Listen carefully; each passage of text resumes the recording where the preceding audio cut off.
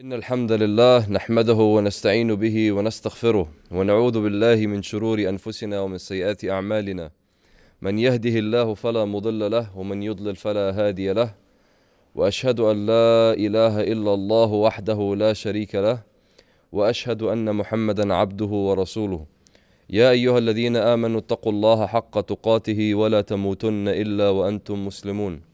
يا أيها الناس اعبدوا ربكم الذي خلقكم من نفس واحدة وخلق منها زوجها وبث منهما رجالا كثيرا ونساء واتقوا الله الذي تساءلون به والأرحام إن الله كان عليكم رقيبا. يا أيها الذين آمنوا اتقوا الله وقولوا قولا سديدا يصلح لكم أعمالكم ويغفر لكم ذنوبكم ومن يطع الله ورسوله فقد فاز فوزا عظيما. أما بعد فإن أصدق الحديث كتاب الله وخير الهدي هدي محمد صلى الله عليه وآله وصحبه وسلم وإن شر الأمور محدثاتها وكل محدثة بدعة وكل بدعة ضلالة وكل ضلالة في النار أما بعد Today, my brothers and sisters, we have a very major problem that face every individual amongst ourselves, including myself, subhanAllah. And this major problem is something that we don't realize until it's too late. Every single day, when we go to work, when we wake up from sleep, you know, we need to go out of the house, we stand in front of the mirror and we look at ourselves, and if we look good to the public, yeah, you put your cream on, you know, you brush your beard, you brush your hair, whatever you're doing, put your perfume and everything, you look at your clothes, and you go out. Subhanallah azza this kind of act is called the ujb.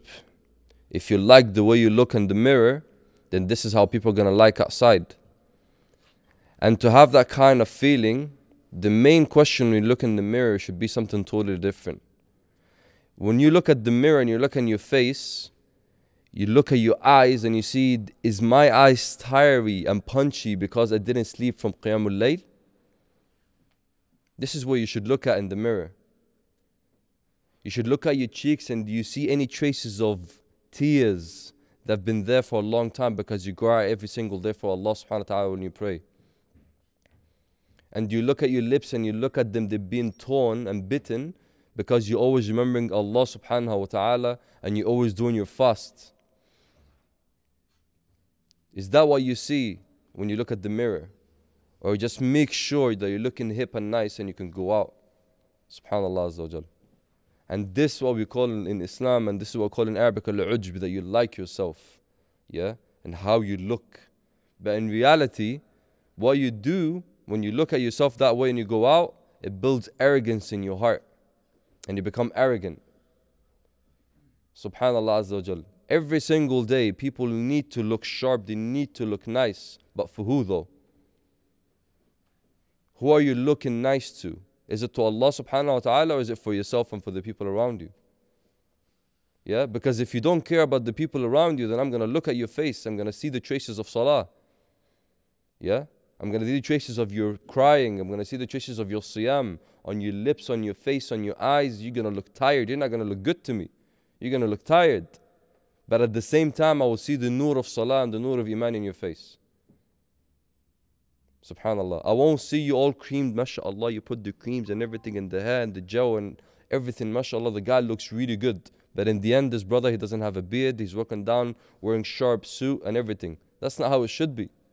Subhanallah Azza wa What it should be like, you should have the traces of a believer in your face. And is that what you see when you look at the mirror? Unfortunately, we don't. And if I ask every single one of you here today, and I said, brothers, you have a problem with liking yourself, every single one here would say, no, I'm humble, yahi. I don't do that. I would say, okay, can you prove to me? Give me some evidences that shows me you don't like yourself. And the minute you're gonna start talking, this is a proof that you're not humble. Because a humble person won't say anything. He would always see himself down there. But the minute you're gonna give excuses, oh no no look, yahi, this. As soon as you start speaking, that's it. That's not humble anymore. That's not a person that he's always in Allah's hand. Subhanallah Azza You see the brothers, yeah, and the sisters, unfortunately, in the street when they're walking, they don't give salam to each other.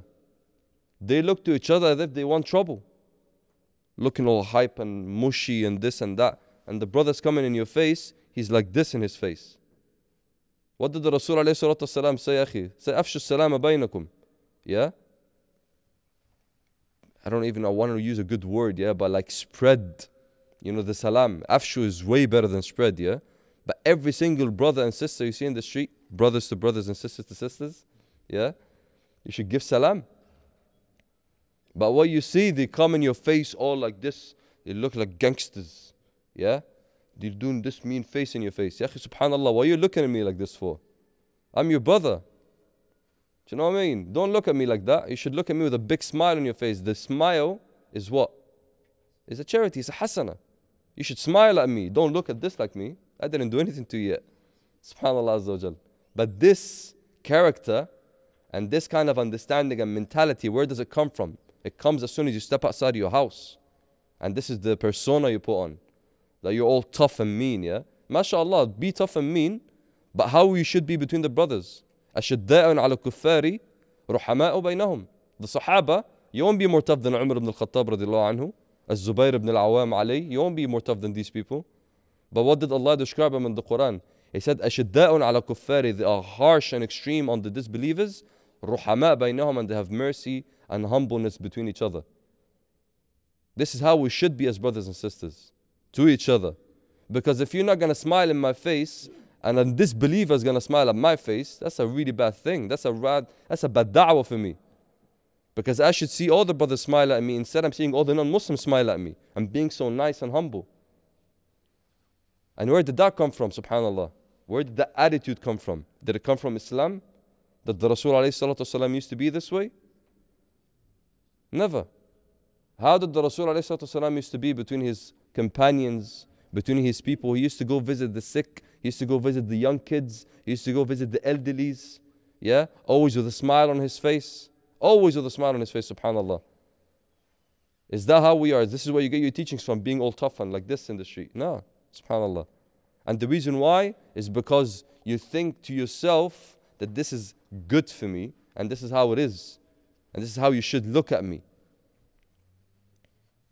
Subhanallah Azza And by having this kind of understanding, that builds the proper arrogance, the kibr in your heart. And the Salaf, they said, yeah, the person that he likes himself, al-mu'jab binafsihi, the person that he likes himself, yeah, he's kattayr, he's like a bird, that he flies away up in the sky. The more he goes higher and higher, the smaller he is in the eyes of people. When you look at a bird, he's like a dot. And this is how you are in the eyes of people when you become arrogant and you do this. This is how they describe arrogance. So the more you walk in the street like this, the more you're like that. Small in the eyes of people because what are you arrogant for? وَخُلِقَ الْإِنسَانُ ضَعِيفًا Allah has created you very weak. Very weak. Subhanallah. A needle can penetrate your skin. A needle can penetrate your skin. A cold can make you sit down at home for a week. Why are you walking around arrogant for? Subhanallah Azza wa And where did that come from? It didn't come from Islam. It didn't come from the teachings of the Rasul عليه الصلاة والسلام. لقد كان لكم في رسول الله أسوة حسنة. Beautiful teaching from the Rasul عليه الصلاة والسلام. إنما بعثت لأتمم مكارم الأخلاق. I've only been sent to perfect the manners. But in the end, how do you see it? How do our manners come across? As Muslims? La wallah. If a small problem came between two brothers, yeah, look at how they speak to each other. As if this person is a disbeliever. Yeah? Why this, why that? And pointing fingers and speaking like this, subhanAllah. Is that how the companions used to speak to each other? When they used to have a problem. Subhanallah Azza wa Is that how the Rasul alayhi salatu Anas ibn Malik radiallahu anhu, he used to be with him for 10 years. A companion used to be with a young boy growing up. He said, The Rasul alayhi salatu wasalam, in 10 years' time that I served him, I never heard him saying uff. Yeah? Never. for 10 years. But with the brothers, you'd be like looking him up, like down, like this, and this, and this, and that. Where did it come from? From the mirror. You look at yourself, you have a certain persona, you look at your body, you look at the way you look. So this person shouldn't be talked in a certain way back, shouldn't be talked back in a certain way, and she speak to people in a certain way. Yeah? And this is how you come out, mashallah. But as soon as you're outside, this is how you come across to people, and then in the end, what happens? It's not Islam. And then people come and say, Oh, subhanAllah, brother, you know, Muslims are very tough. They call us these names and that names. They speak in a very arrogant way. Where did it come from? Is that the teachings of the Rasul? No. Al-ujb, to like yourself. Yeah? A person looking at himself. Hmm. Unfortunately, this is the ummah status now. Every person, a brother and sister, now they shave and they have no beards, they barely pray, but they say, you know what, akhi, there's a lot of brothers that don't have beards and they're way, way better than the brothers with beards. A lot of women, they're not wearing hijab properly, but they're way better than the niqabi sisters. Way better. Now, the scale is different. If you're not having a beard and you don't have, you know, the proper thawban and the niqab and the hijab, proper hijab in Islam, now you're good because uh, the others are representing Islam badly. Subhanallah This is the scale now. The way of the Rasul alayhi salatu wasalam, how he used to be in his figure and his mannerisms, and his wives is now extreme. Now it's extreme. I speak to a brother, Akhi, what's your beard, ya Akhi? Ya Sheikh, uh, you know, ya Akhi, you know, it's not fard. Okay, Akhi, listen, why are you wearing a suit on? Akhi, because I'm going to work. Is that fard, Akhi? Why are you wearing a suit on for? Because of work. Yeah? So the boss wants you that way. Okay. So don't you want to be like the Prophet Muhammad sallallahu alaihi wasallam? I won't even speak about fard or sunnah. Do you want to be like him? Yes, akhi, I want to. Okay, where's your beard? Akhi, there's a lot of stuff better than a beard, ya sheikh. You know? I have a lot of things, akhi. You know, I'm, you know, doing this and that. And, uh, you know, what, what beard, akhi? Beard is something which is secondary. Ya akhi, that secondary thing is an order from your Rasul alayhi If it's a secondary, he won't order it. It's secondary. He didn't order you to pray four rak'ah before Dhuhr. He didn't tell you that you have to sleep on your right side. He didn't say these things to you. You have to. But he told you you have to have a beard. It's not secondary anymore. Sister, you have to cover up. Um, uh, you cannot see my skin, akhi. You know, we're good, mashallah. What do you mean, sister? The hijab is simple. Yeah? It's one, two, three. Like the wives of the Prophet. Oh, we're not living in those times, Yahi. It was there at a certain time. Now we live in England. In England, I can wear this. What kind of logic is that, Yahi? You live among the non Muslims, people that they have psychological issues. This is where you should hide. And among the Muslims, this is where you should feel relaxed. Instead, the people saying, Yahi, living with the non Muslims, I shouldn't look Muslim. What do you think they're going to do to you in the street, sister? They're going to look at you, yeah? Definitely. The more you show, the more they're going to look because they have only one thing in their head. They want to attack that and they want to use it. So the more you give for them, the more they're going to use. And the more intrigued they're going to be to come to you. It's not the other way around. You're not mixing in, you're mixing in in the wrong crowd now. But when you cover, this is how you show the real message of Islam. When you, your brother, you're having a beard on and you're wearing a thawb or anything which is Islamic in the street, this is how you show Islam. You don't need to speak anymore. You're a flag walking around. That's more than enough da'wah. But you cannot come and say now, Akhi, you know what, I can't do that, Ya Sheikh, because there's a lot of stuff. A lot of stuff, Ya Akhi, subhanAllah. Even the simplest things you're trying to find excuses for. The simplest things. And people think this is how it should be now. Why? Because, Ya Akhi, I have a certain persona that it has to come across. And if I have a beard, if I have a thawb, it's not going to come across, yahi. They're going to misunderstood it. And I'm not there yet. Subhanallah Azza wa So, لقد كان في لكم في رسول الله أسوة حسنة لما كان يرجو الله واليوم الآخر You have beautiful things and examples in the way of the Prophet is not there anymore. خلاص. It's my way now. It's my mutation of Islam. Yeah? It's my UK Islam is how it's going to come across. I know better than the Rasul I know better than Allah subhanahu wa ta'ala. I know better than the Quran. I know better about fiqh. I know better about hadith and Quran and everything else in the sciences of Islam better than all the sheikhs, ya And this is liking yourself, and this is arrogance, and this is the mirror that we're speaking about now. Because the small act, yeah, goes a long way a long way. Why? Because your all understanding and your all importance of how you should be like is based upon people, not Allah. So anything that Allah and the Rasul is going to tell you is going to be extreme and it doesn't work with your persona. You see how it starts? Very simply. Yeah, very simply. Do I look good today? Do I do this? Do I... That's very simple. But in the end, when a person comes and say, Akhi, Allah said and the Rasul said, what are you going to say? Um, we live in the West. There's differences of opinion. People said that and this and this and this. Akhi, do you love the Prophet? Yes. Do you look like him? No. Do you act like him? No. Khalas. Do you love the Prophet? Uh, yes. Something is wrong there. You love the Prophet? I would see traits of the Prophet Muhammad in your face, in the way you pray, in the way you speak, in the way you come across the people. I would see that. I would see how you act with people, subhanAllah A non believer, this is how a message came across now, yeah? A non believer, a doctor, a scientist was speaking to a Muslim and he's saying to him, things about Islam which is really good, mashallah, one of which is salah. It's really good. He said, What do you mean, man? Of course it's good, but what do you mean? He said, You can see the light. This is a non Muslim describing it. You can see the light on the faces of the people that they pray much. And uh, that's a non Muslim, a scientist, yeah, or a physicist, I can't remember. He said, How do you know that? What do you mean? We know that as Muslims, but what do you mean?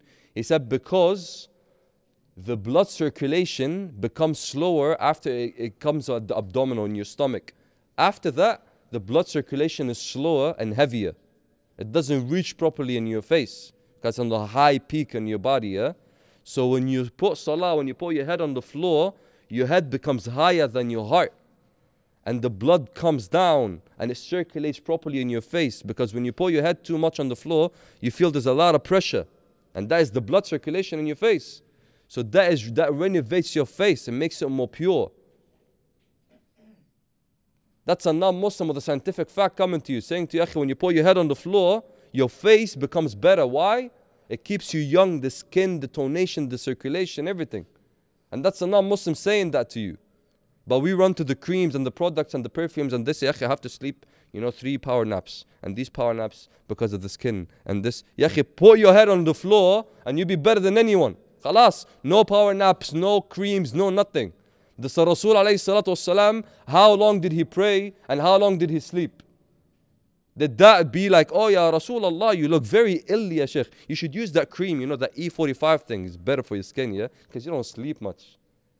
Did that how they used to say? They said, yeah, his face was more light than the moon itself. He didn't get much sleep. He didn't get much food. He didn't get much workout. How did he used to do it? He's not an angel. Yeah, he's not a supreme being. He's a human being like you and I. How did he achieve these things? Why? Because two things. He humbled himself and he did what Allah told him to do. Simple.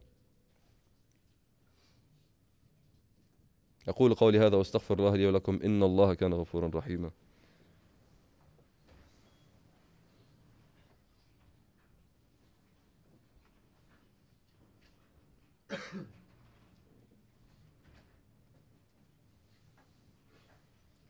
الحمد لله رب العالمين والصلاة والسلام على رسول الله وعلى أشرف المرسلين محمد صلى الله عليه وآله أجمعين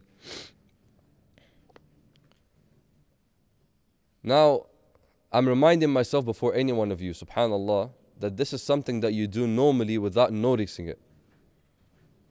All of us wants to look good to people. Of course, you want to represent Islam in a good way. Yeah? The Rasul alayhi salatu wasalam, Sayyidina Umar ibn al-Khattab, they used to do so. Same, they used to take care of themselves. That's no problem. But the main thing is, when you want to look good to people, the most important, you want to look better to Allah. That's how you should be. My looking, the way I am, the way I speak, the way I do everything is for the sake of Allah, not for the sake of people, because people are never going to be happy with you. You did that cut, they're to be like, oh, but there's another cut now. Or you did this, but no, no, there's this now. And you have the beard like this, no, no, it's to do it like this now. It's to be like that every single day. You're never to please anyone. But Allah's deen is one. And the way of the Prophet Muhammad is one. Very simple. It doesn't need any extra. Just simple stuff. Now, 2015, mashallah, all the non-believers, big beards, above the ankles, pants, and they're walking around. Why? Because it's fashion, yahi. And now every brother and every Muslim, they're wearing that. Subhanallah. But three, four years ago, akhi, that's extreme.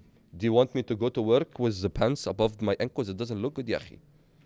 Doesn't look good the normal is that the pants just you know it covers the shoes it looks nice and if i'm rolling my pants i say bro what, what is this man you come from the streets now everyone is rolling and now if you don't do it you'll be like oh you know what man that's so last year man what is this why? Because Giorgio Armani and Valentino and everyone else now becomes of the models and they do it. So they do it for the sake of the dunya and you're doing it for the sake of the dunya.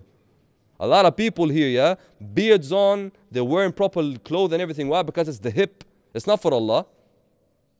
If it was for Allah, ya it's not going to be clothes only. It's not going to be what you wear only, ya It's going to be your manners. It's going to be your salah. It's going to be your zakah. It's going to be your fasting. It's going to be the way you help out with the community. It's going to be you come out of your way and I see you in the salah, in the masjid at Fajr. It's going to be these things. It's not just going to be a beard and uh, you know above the ankles, sheikh. You know this is how we are Muslims, mashallah. Yeah, but you don't smile at me when I see you in the street, ya the smallest thing you don't do, yeah, but you can roll your sleeves. mashallah, Allah Akbar. Is that what it is, yeah? No. So the first thing that you need to do as a brother in Islam and a sister in Islam, you should implement and you should be happy to do certain things like staying up late for the, for the qiyam, reading the Quran, all these things for the sake of Allah, not for the sake of the people.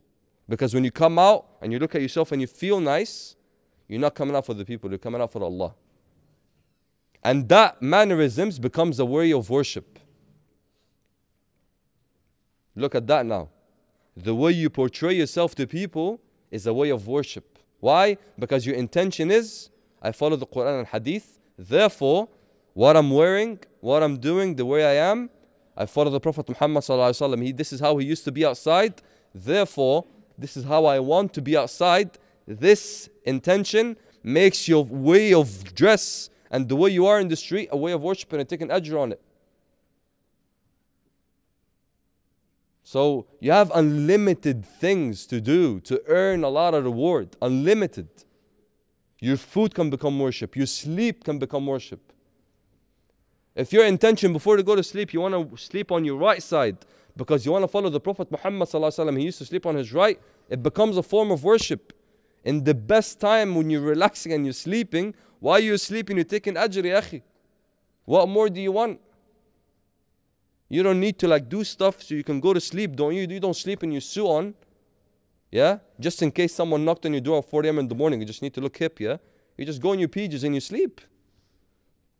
Yeah, but who sees you at that time? It's Allah. So Allah is giving you unlimited things to do to become a good slave to Him and to take reward. But we want to leave everything that Allah gave us and we want to do the things that we're not going to get reward from. Just for the sake of being here. And then when Allah is going to ask you about the time and what did you spend on, what are you going to say? Work, this, this. He said you can do all of these things and take reward on at the same time. You can work and walk and do this and eat and drink and do gym and everything and every single action you can take a good deed on it, but you didn't even think. Why? Because I'm not in your mind. Allah is not in your mind anymore. What's in your mind is you want to look good. Why you want to look good, ya?